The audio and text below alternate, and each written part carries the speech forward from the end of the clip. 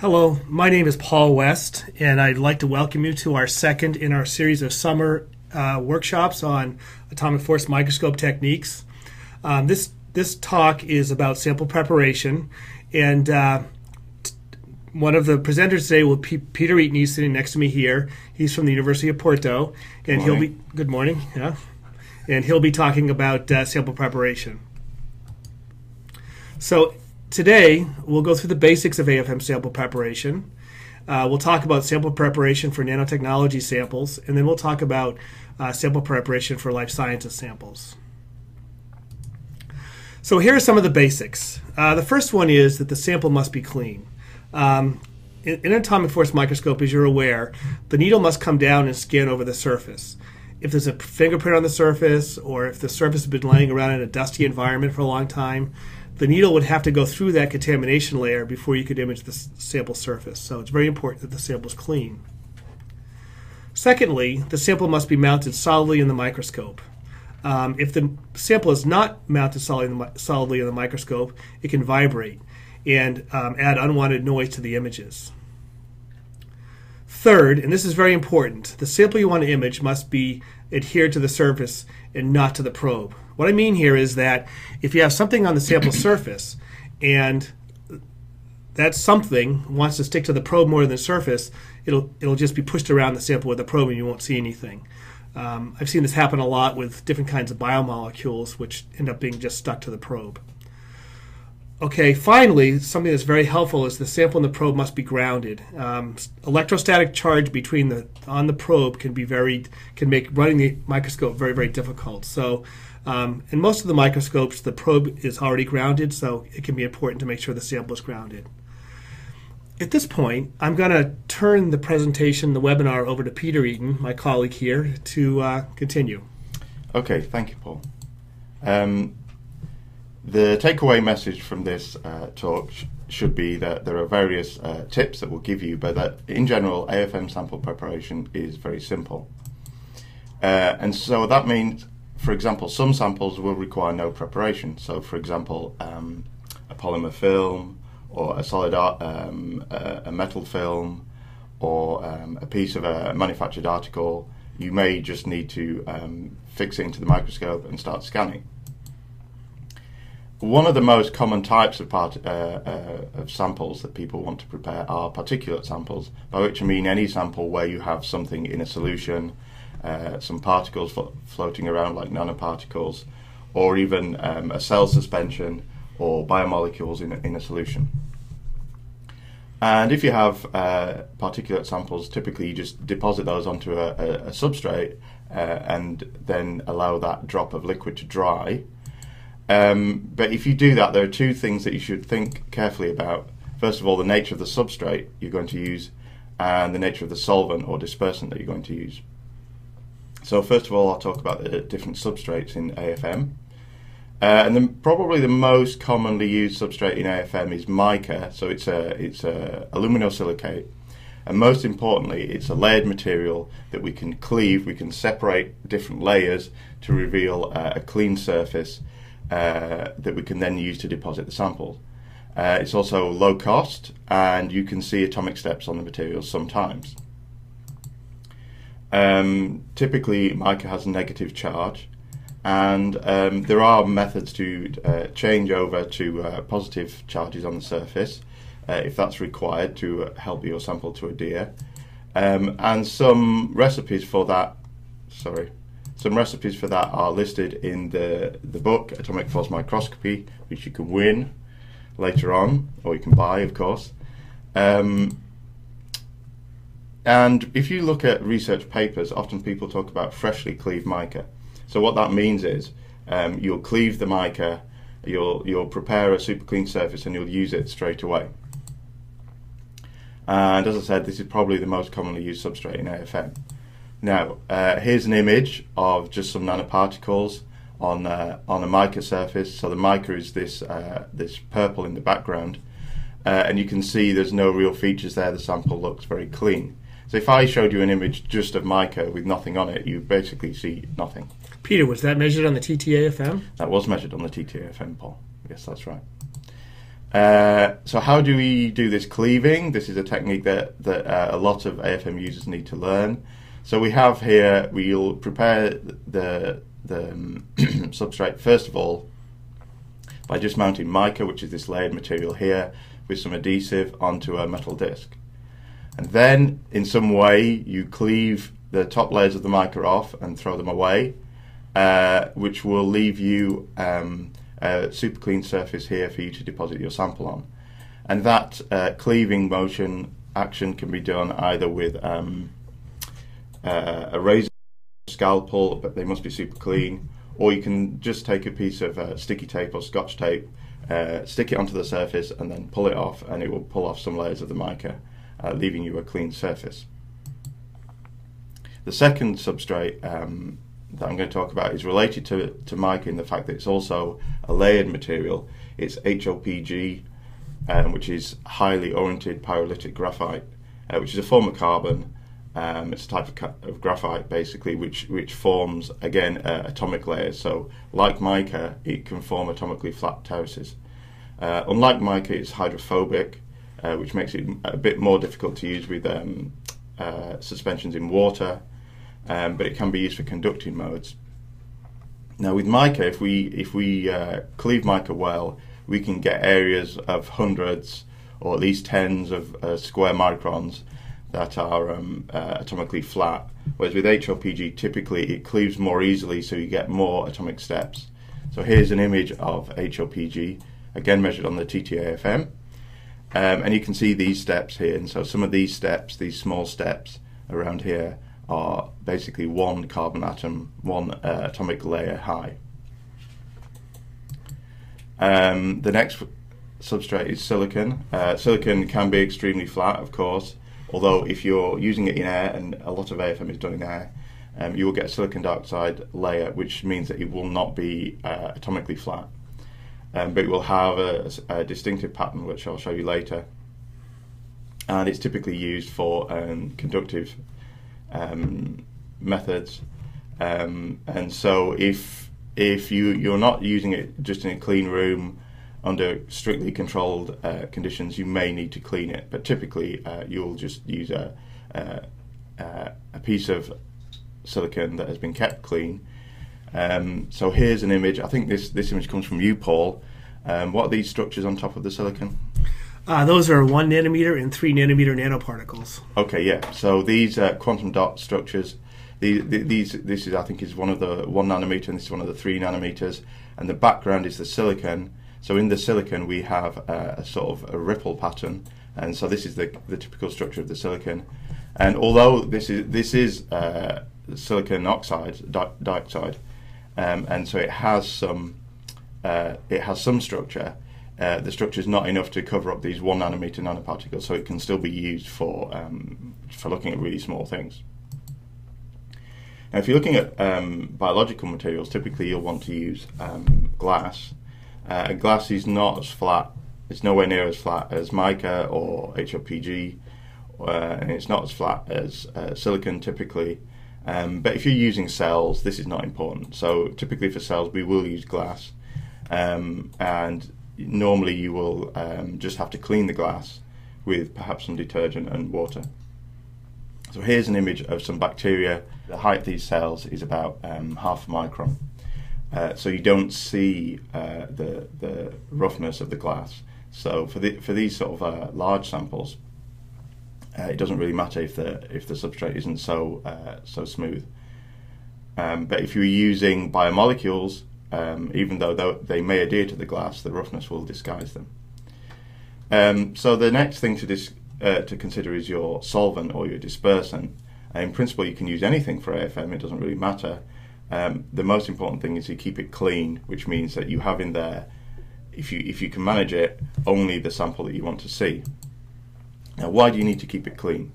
Well, the reason is that everything that you have in your droplet of liquid that you, you deposit on the substrate uh, will go onto the substrate and will dry onto the substrate and will be greatly concentrated as the drying occurs. And so particle concentration will increase uh, while you're drying, and salt concentration will, will increase. Uh, pH could change, and you have these meniscus effects. So you have effects such as uh, aggregation um, and movement of material towards the edge of the droplet uh, during drying. Now, the most common uh, solvent or dispersant used in uh, AFM is, of course, water, and the quality of the water um, will affect the results. So here we have an image of uh, um, basically a, a mica substrate with some tap water dried on it, and we have lots of structures here, of course. Then we have here some filtered water. This is filtered, this is much cleaner than the tap water, but you can see that there are still some particles here. Um, so there'll now just be a few um, specific points about uh, sample preparation in, first of all, the life sciences, and then secondly, in nanotechnology. Um, so in the life sciences, the two uh, things that I'll really discuss are biomolecules and cells. So for biomolecules such as DNA and proteins, you are go going to need an, to use an atomically flat substrate. And typically, you there will have to be some uh, mechanism for those to be bound onto the surface, even if it's just gently. Uh, so there are, there are some uh, recipes and some specific protocols to do this. They're discussed in, I think, chapter four of our book, Atomic Force Microscopy.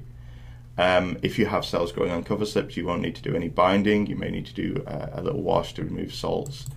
Um, if, however, you have cells in suspension and you want those to be deposited on a surface, in many cases you will need to modify the glass such that those cells uh, adhere to the surface. So in those in those cases, again, you can look in the book and look for some recipes to uh, increase the adhesion between and your glass surface. In nanotechnology, the two areas that we'll briefly discuss are nanoparticles and nanotubes. Um, so these are the very common samples in AFM, both very easy to image with AFM. And uh, if you have water soluble nanoparticles, all you have to do is, as I mentioned previously, um, dry a droplet of them onto mica. Now you have to look at issues whether they will agglomerate uh, and take control of those sort of things. But this is a simple preparation method and probably the first one you would take, you would try.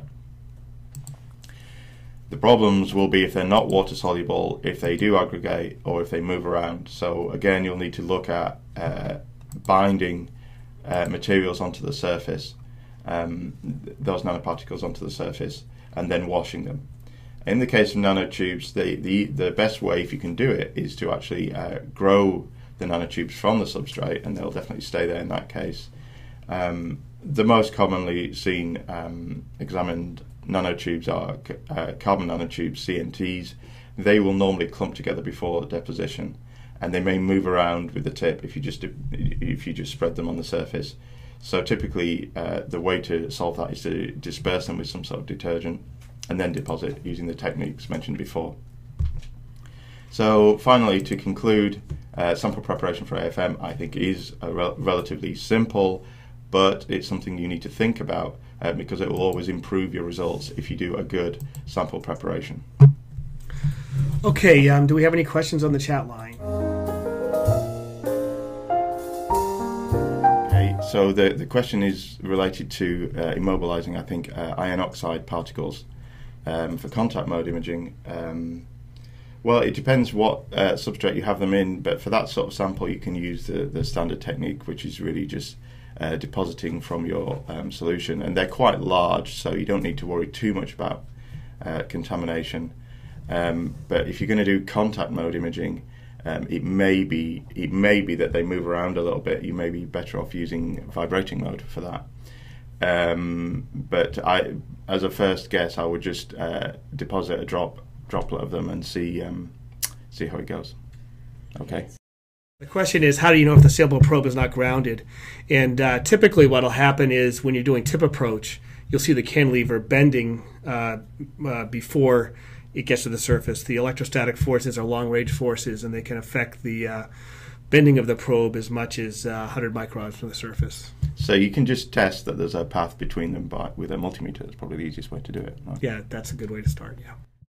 If you want to see a bilayer of lipids, um, that's uh, very easy to, to, to see by AFM, and the easiest way to do it is simply uh, deposit some vesicles on um, freshly cleaved mica, leave it to uh, the, the vesicles to spread for about 20 minutes, and then wash it with clean water, and then add the solution you're going to image them in or if you're going to do it in air, just be very careful with the washing.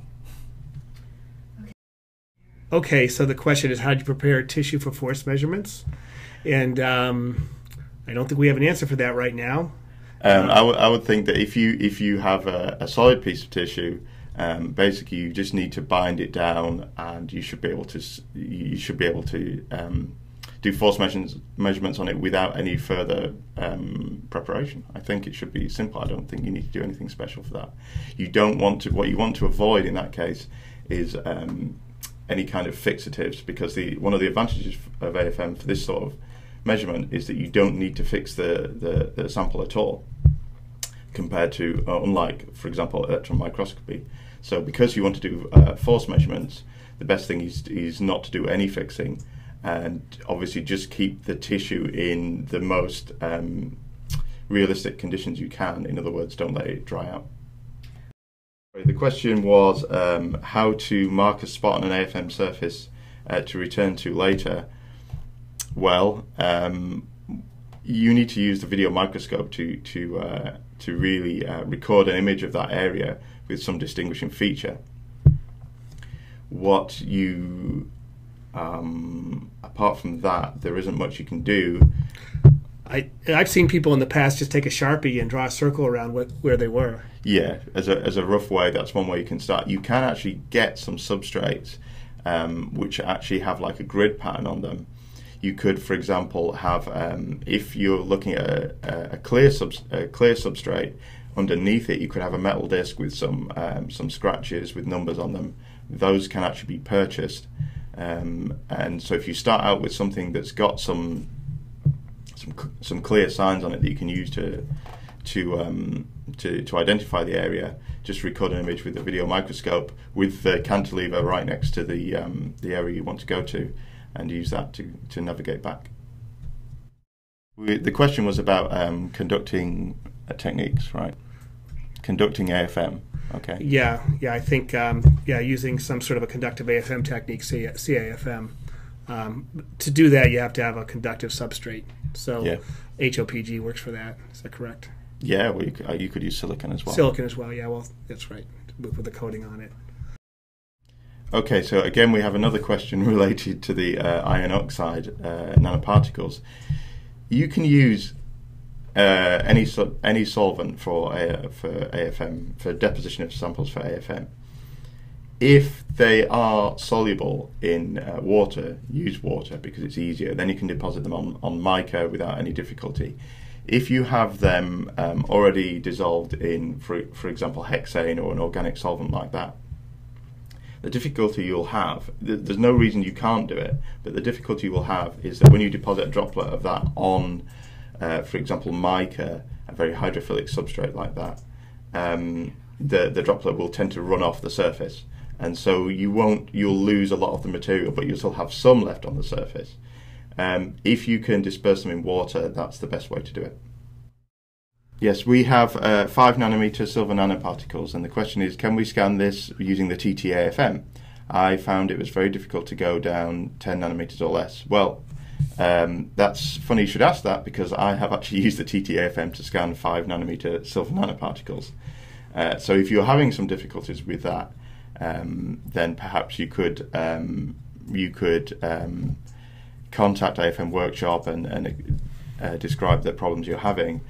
Basically, if you're having difficulty with really small um, nanoparticles, you need to ensure that your instrument uh, is in the highest resolution mode that it has. You need to reduce all sources of noise. Typically, if, if you're having difficulty with um, uh, going below 10 nanometers, it means you've got a lot of noise in your image, or you have a very blunt probe. So keep the, the probe sharp and reduce all sources of noise, such as acoustic noise. Make sure you have a good vibration isolation system. How to prevent nanoparticles from moving in contact mode scanning. Well, um, what's what's what's happening there is that the uh, nanoparticles are not really adhering to the surface. So um, you need to you need to look at what's the interaction between those and the surface. Um, for contact mode scanning, you do need to be sure that the, the, things are staying down there. So you need to reduce uh, imaging forces and make sure that your your feedback gains are as high as possible. What mode is better for lipids, contact mode or tapping mode? Well, that depends what you want to see and how you want to scan them. Uh, I would say that uh, uh, contact mode is um, a technique that definitely can be used for uh, lipid bilayers, if that's what you, that's what the question's about. Um, and especially in liquid, contact mode can give more reliable height information. On the other hand, if you're using an oscillating mode, such as um, vibrating mode, or um, as described here, tapping mode, then um, then it may be easier, but you may have less quantitative information from that technique. Well, thank you for all those great questions. Um, if you want to do some uh, follow up, you can write them to info at afmworkshop.com. We try to make these uh, presentations available to people that request them. Um, again, thank you for coming to our webinar, and uh, Peter and I are both very happy that uh, you attended. Thank you.